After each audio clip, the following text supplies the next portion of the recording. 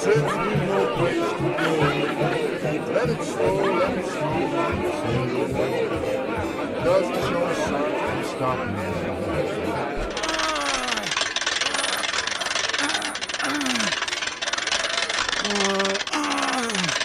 My arm's fucking killing Ah, me. ah, ah. I done my shift. You have to do yours. We'll get a drop soon. Lovely jubbly. B- bless you, sir. Bless you. Don't you think there should be more to life than just turning this handle and eating fucking molded bread? My dad turned this handle and lived off moulded bread his whole life, and it done him no trouble.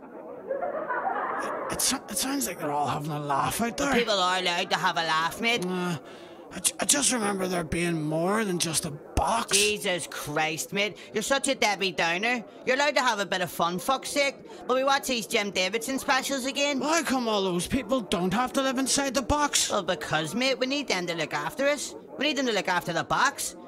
They'll always keep us safe. Sure, it was them that lit that fire for us to keep us warm. I don't feel safe. You don't feel safe? I think you need to turn the handle more, mate.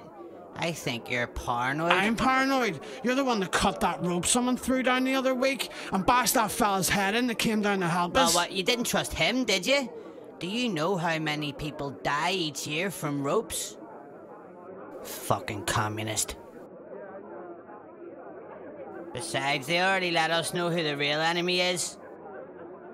People coming over to our fucking box, our fucking box, eating our fucking molded bread. I tell him, I says, why don't you fuck off back to your own fucking box? But the people in control of our box bear responsibility for the other boxes too. The fact those people's boxes are destroyed forced them to seek refuge in ours. Don't the overlords have to take some blame for Look, that? mate, look, you keep letting ropes down here, all of a sudden, there's not going to be enough room in the box for any Well, of why us. Why don't we get out of the box? Why don't you shut your fucking mouth, you fucking snowflake cunt?